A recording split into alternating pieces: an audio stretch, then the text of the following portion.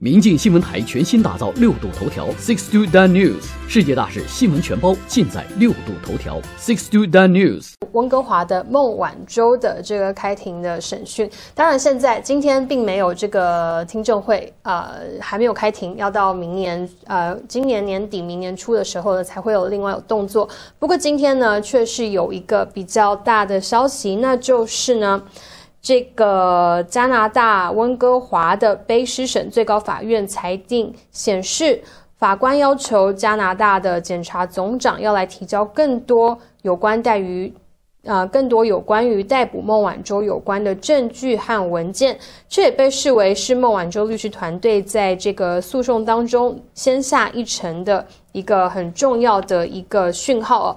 呃，我们知道孟晚舟她是在去年的十二月一号被逮捕。他是因为卷入了美中加紧张关系的暴风眼被捕的原因呢，是因为他坚称，呃，因为他被美国认为是涉嫌了银行诈欺、误导汇丰银行有关华为和伊朗的商业往来，但他当然是坚称无罪。那现在的这个法律环节呢，就是加拿大是不是要把？孟晚舟把他送到美国来进行接下来的审判，但现在卡在温哥华已经卡了一年多，在这个他到底是不是会被送往到美国的这个程序呢？现在是有非常多的变数，主要的原因呢就是加拿大的这个最高法院现在要来仔细的检视他当时呢，我们现在画面上看到他当时在这个呃机场的时候，他被啊这个审讯的过程当中呢。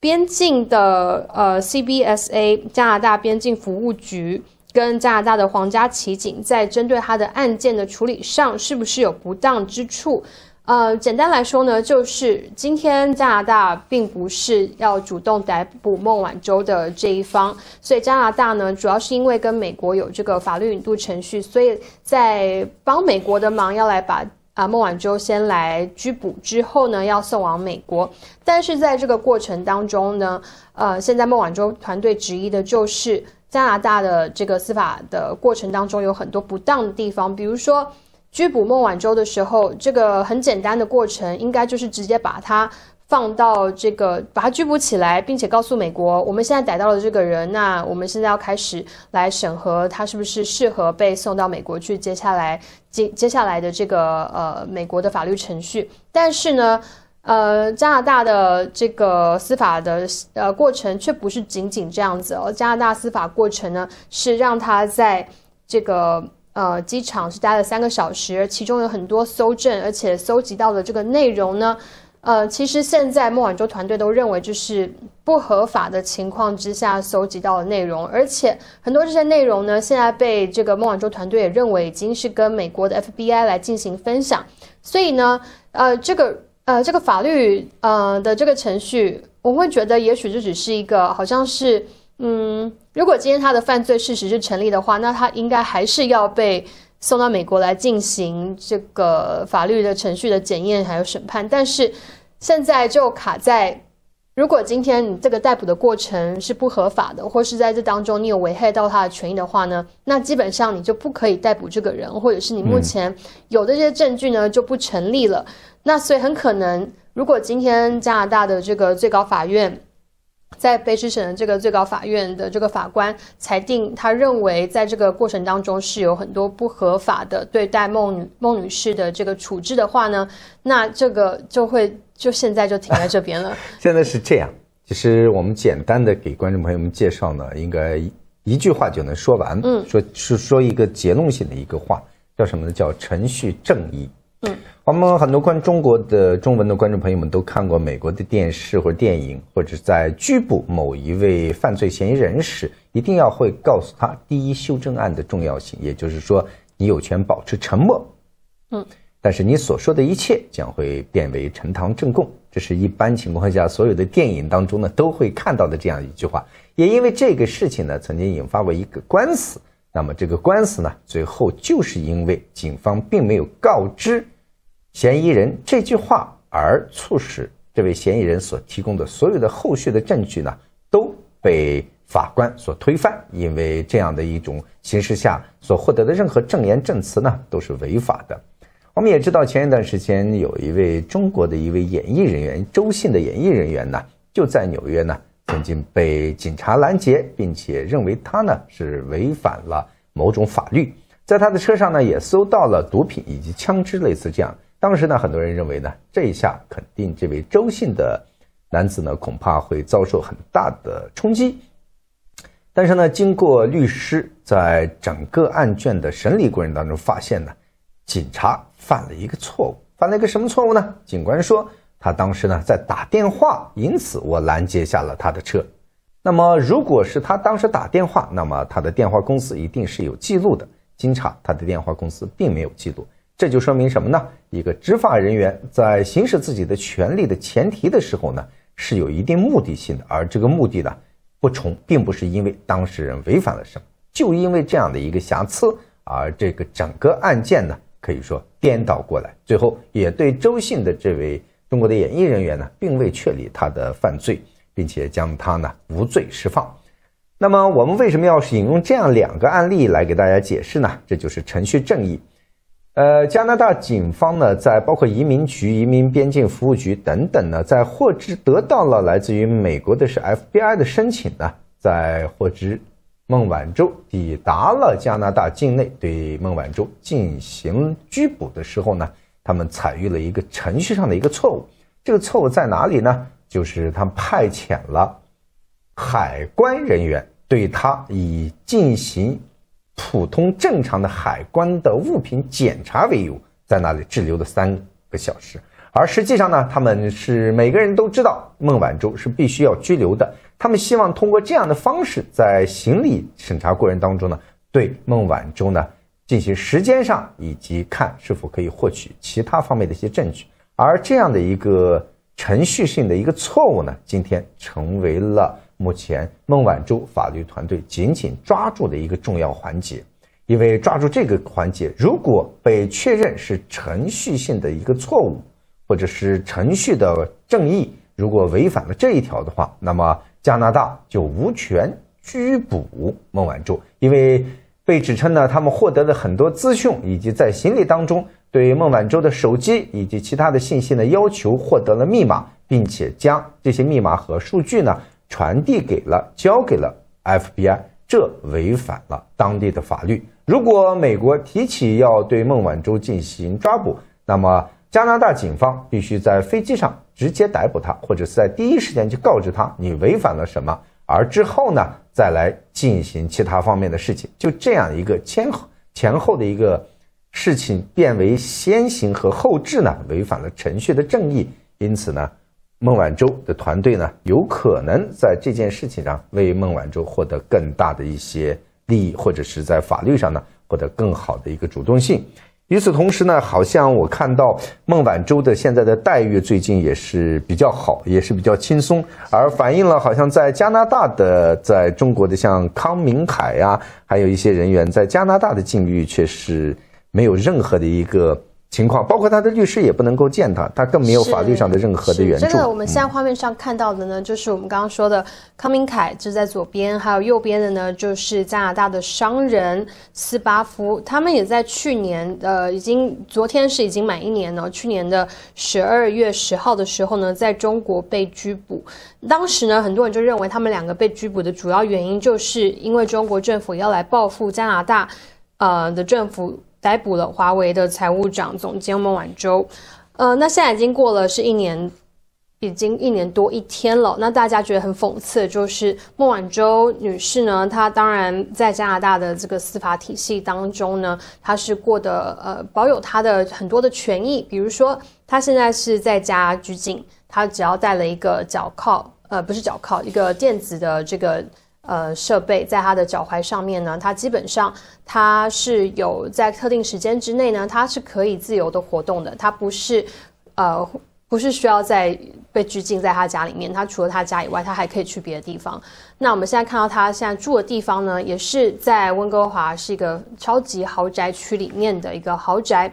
比他一开始的时候呢，呃，一开始被逮捕的时候，他是住在一个比较小的房子里面。那得知他要在加拿大很长一段时间进行诉讼之后呢，他们就把这个后面我们现在看到的这个豪宅是把它整顿了一番之后，让孟晚舟女士住进去。所以他的生活可以说，除了他呃这个脚上有一个电子设备来监禁他每天去了哪里之外呢，他生活并没有受到非常严重的影响。相对之下呢，康明凯还有斯巴夫。他们现在在加拿大，呃，在呃，在嗯，在北，嗯，不知道他他们在哪里？他们在中国，他们在中国在哪里被拘禁？呃，确切地点没有人知道，而且他们的家人也没有办法跟他们取得联系。他们现在唯一跟外界联系的管道呢，就是加拿大的这个大使馆。呃，不知道多久可以去跟他们见一次面，而且这个见面的时间呢，每次也只有半个小时左右的时间，是非常的短的。就像家人想要给他们带一些书啊、一些物品啊，也是不能够拿给他们，所以让大家觉得在这双方比较起来呢，是十分的讽刺。那加拿大的外长。肖鹏飞周一的时候，十二月九号就发表声明，表示康明凯和斯巴夫被任意拘禁，是不能见律师，也不能与家人联络。呃，表示呢，加拿大政府还是继续的要争取两个人尽快获释。那中国呢，驻加拿大的大使馆对此当然也是马上的做出回应，就说。呃，加拿大的外交部对这件事情呢说三道四，中国表示强烈的不满，而且还强调中国是法治的国家。康明凯和这个迈克尔说到这儿的时候，我就觉得特别好笑。中国是法治的国家，是就说这两位他们现在被呃拘禁在中国的主要原因呢，就是因为他们危害了中国的国家安全的犯罪，所以被逮捕，不是有任何。完全不是任意拘押哦，就是反驳加拿大外长商鹏飞的这个说法。而这个呃康明凯他的实际被逮捕的罪名呢是涉嫌为境外刺探国家的秘密，而斯巴夫呢则是被控为境外窃取、非法提供国家的秘密。当然呢，呃，跟孟晚舟女士的这个案情相比，每次去开庭的时候，大家都可以很明确的知道现在。呃，这个审判到什么程度啊？这个内容当中是什么什么内容搁置了下来？接下来可能下一步是要进行怎么样子方面的呃证据的提析？这个全世界公布在这个全世界大家的面前，大家都知道。那相对起来呢，这两名呃康明凯还有斯巴夫，他们两个人虽然我们现在有他们两个人被逮捕的原因，但是他们。嗯，基本上这两个案件现在就石沉大海，没有这个事情呢。是孟晚舟十二月十一日，去年的十二月一日被加拿大在边防方面去对他进行了逮捕之后拘拘留之后呢，那么限制他的出境和包括限制他的一些过度的一些距离方面的一些行行动呢。十二月十号呢，中国就将这两人呢进行了拘押。那么拘押之后的，刚才我们也看到呢，是对待遇呢是截然不同。到现在为止呢，这两位到底是什么样的罪名，以及他们犯罪的任何的证据呢，都不容许律师去参与，也不容许他们聘请律师。就这样每天的羁押，并且目前呢是每天都要接受数个小时的持续性的审讯。刚开始的时候，他们在睡觉的时候呢，甚至不容许他们关灯，而是持续二十四小时不间断的各式各样的这种摧残。他们包括家人和其他的地方带给他们的一些信息呢？每次使馆的外交人员进行领事探访期间呢，也是必须用大声去朗读给，呃，像康明凯啊啊他们二位，并且呢，当场呢必须要由中国的警方人员呢能够听得见、看得清，不容许有更多的任何的互动，而时间呢最多限定在三十分钟。那么这种。情况呢，也有人中国的一些人士认为呢，是不是他们真的是间谍呢？这里就有一些消息人士说，前加拿大的驻北京的大使赵普对法新社说，这是一个政治案件，几乎没有进展的任何迹象。他说，两人被指控刺探中国国家机密，但案件未正式的起诉。表示呢，中国当局可能正在想尽一切办法呢拖延时间。根据他的说法呢，康明凯被关押在北京约有二十名囚犯的牢房当中，而帕斯沃夫呢，则而而斯帕沃则在丹东与十八名关押者在同一个房间。两人呢每天可以户外待大约十五分钟。消息人士指称呢，大使馆的官员在得到两人家人的一些相关资料和照片的时候呢，也是必须在有当场有人，中国当局的人的当面才可以进行交接，并且呢，刚开始的时候呢，甚至连书籍都不是容许送进去的。人们称为呢，这就是一个报复性的拘禁。过去呢，一直居住在中国东北的这位加拿大人士呢，曾经一直呢是协助。其他的外国人呢前往朝鲜，他并且呢他成功的帮助了美国的篮球的传奇人物罗德曼呢也曾经呢去到了朝鲜与金正恩会面，他本人呢也与金正恩呢进行过会面。那么这些情况呢，目前看来呢，都成为了中国官方或者是准备欲加之罪，何患无辞的一些重要的一些情况。关于康明凯呢，他所任职的国际危机组织说，这位驻香港的前外交官呢，经常受中国官方的邀请前往中国，对中国不怀任何的敌意。国际危机组织的主席玛丽说：“我认为不用，是法律专家都会知道康明凯为何被捕。”国际危机组织呢，每天都在推特上发布有关康明凯的一些推文。马蒂同时说呢，对我们来说，提醒全世界他仍然被拘留是一个非常重要的事情。那么，我们也看到这两天呢，其实加拿大在这一年当中呢，一直遭受着中国的各式各样的指责。但是呢，加拿大呢一直保持着绅士般的克制，并且对于很多事情呢，似乎并不想把它做大或者是闹大，想通过一些外交的渠道或者其他的方面呢，能够将加拿大与中国之间的人质外交或人质问题，或者是中国扣留的人质，而孟晚舟呢是获得一个自由的、拥有法律辩护权利的一个正常的一个嫌疑人。那么将会想办法解决这件事的，但是中国政府呢，长期表现出来的呢是非常强硬，并且是蛮横无理。包括加拿大的中国驻加拿大的大使的一些说法和一些做法呢，也让人呢是匪夷所思。那么这两天呢，加拿大的通过刚刚结束的大选之后呢，加拿大正在调整他们对于中国的政策。据悉。加拿大的国会呢，预计会在一月份成立一个专门的检讨中国政策的小组织。关于贸易、司法啊，包括经济、包括援助等等的各方面的工作呢，成立这样的一个委员会，这对于与对华的关系呢，发生了非常大的一个转变。加拿大不会再沉默，沉默和和解对中共的政权是没有作用的。这一点。通过孟晚舟与加拿大人被无故抓捕进行了一个鲜明的对比之后，已经叫醒了善良和谦和的加拿大政府和加拿大的人民。是，所以这件案件呢，我想至少孟晚舟女士的案件，我想这短期之内是不会结束的。而这两名我们现在画面上看到的康明凯呢，跟斯巴夫呢，他们两个。